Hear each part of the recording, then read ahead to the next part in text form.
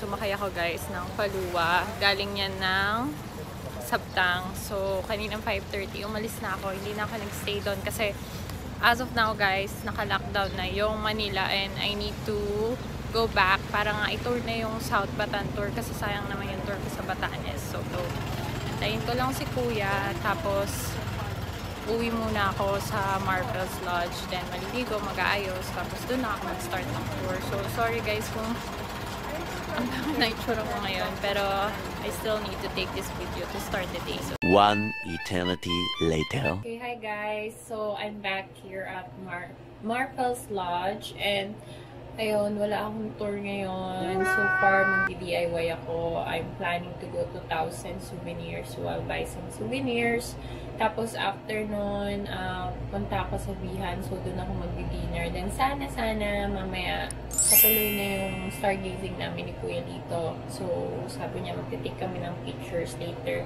And, yeah, kanina kasi guys, dapat South Batan tour ako the entire day. Kaya lang, I went to PAL because yesterday Duterte declared um, that Manila, Metro Manila is in lockdown. So my flight will be on Metro Manila. Kaya hindi ako um, papakali kagabi pa. So I went to the office nga ng PAL sa airport. So pumula ako dun guys for around 3 hours siguro.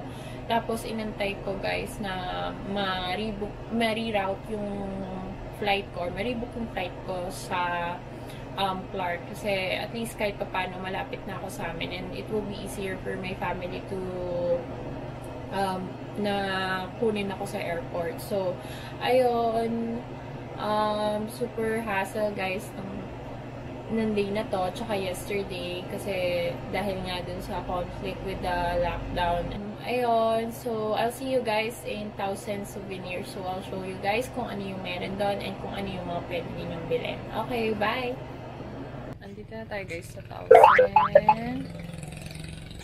And we're gonna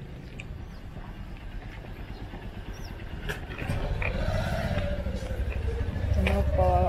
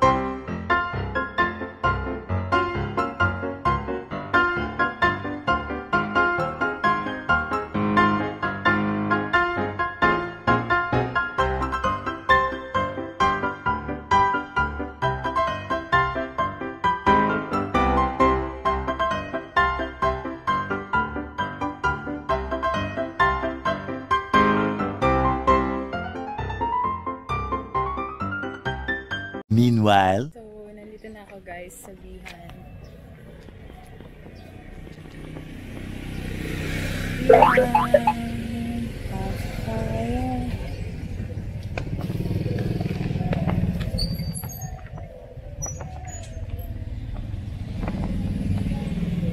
Bihan. Bihan.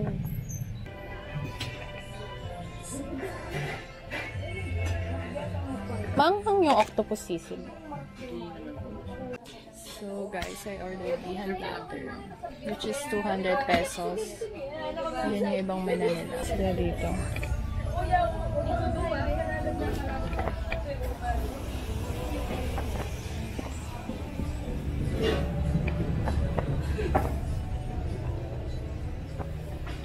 Ayan. So binili ko yung set meal dito sa Bihan. And this is yan dish, 200 pesos. Yan. Tapos may pako sa gilid. And then meatballs. Pero hindi ko alam kung ano. So, tikman natin.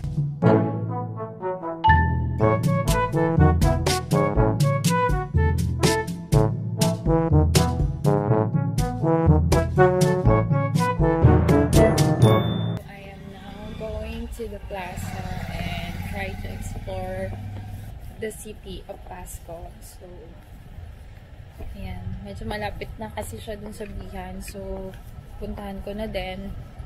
Tapos after nun, babalik ako ng Marples Lodge kasi um, I'm gonna rest for a while and wait for Kuya, Kuya Lito's text. And ito yung plaza nila sa Pasco Plaza.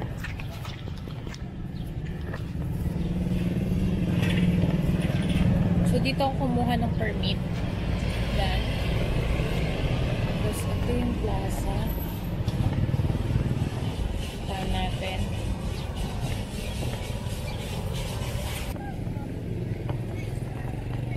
Welcome. Agro-Industrial and Ecotourism Fair. Wow.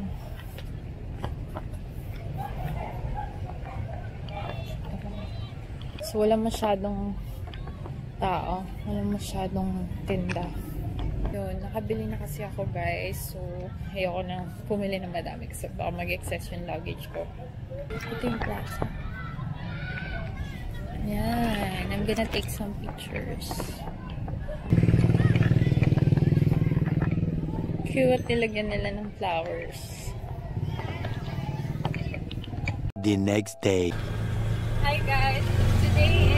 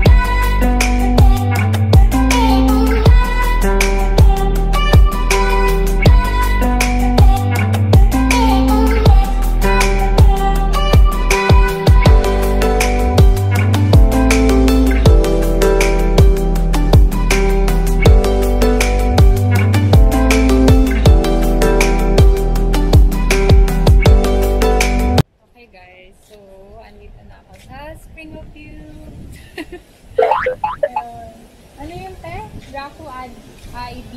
Rakwaidi. Rakwaidi. Ano yun? A free Spanish Tibetan settlement to the remains of Tibetan houses. Oh, meron sa loob? Merong settlement? Yeah. So, let's go inside! Yay! And the wind is really scary.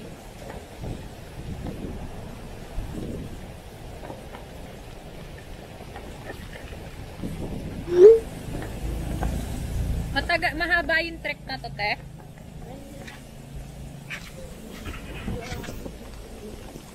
Ah, wala. Ah, may 15 minutes. 15 minutes trek. At malamig.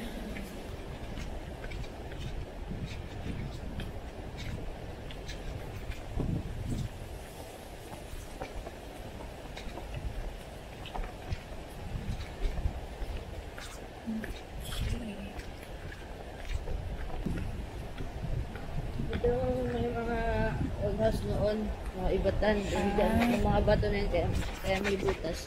Diyan tinatali po yung naka, ano, Bahay bahay. nila. Pag may bagyo.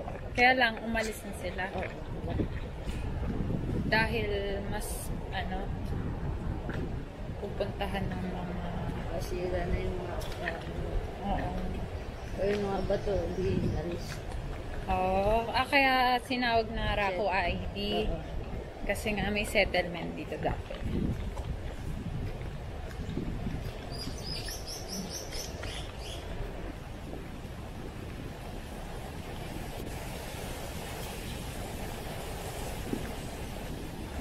Spring of Youth.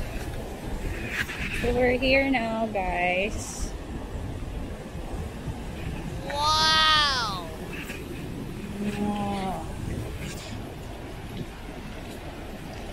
Okay. Yan, so meron din sila guys, CR dito.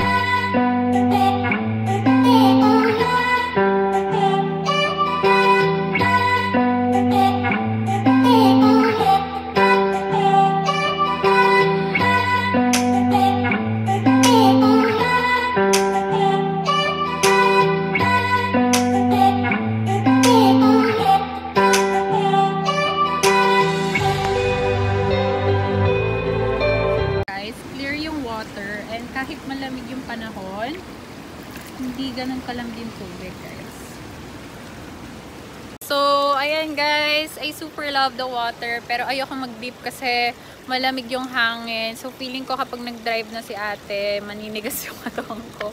And also because I need to go to the airport later dahil uuwi na ako guys ng Pampanga. And ayun, um, sabi nila spring of youth kasi nakakabata daw siya. So, medyo wisik-wisik na lang muna ako ng konti dito para bumata ng konti yung itsura ko.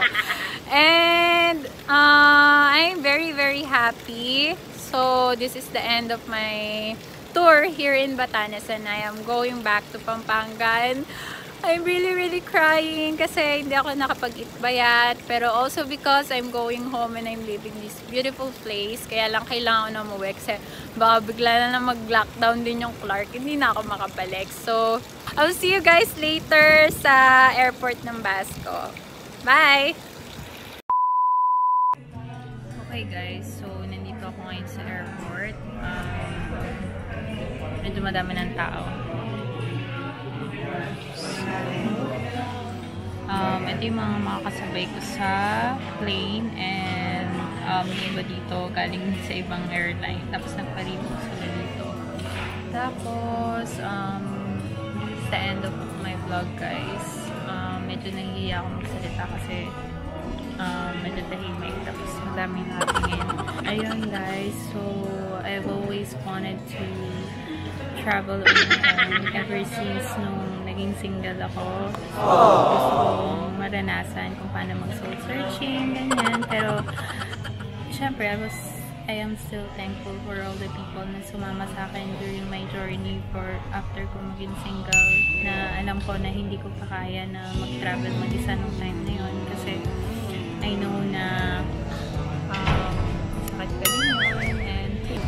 travel when you're alone, um, mas iisipin mo ano wala sa'yo. So, yun, um, since I'm finally okay, I'm finally happy, even on my own.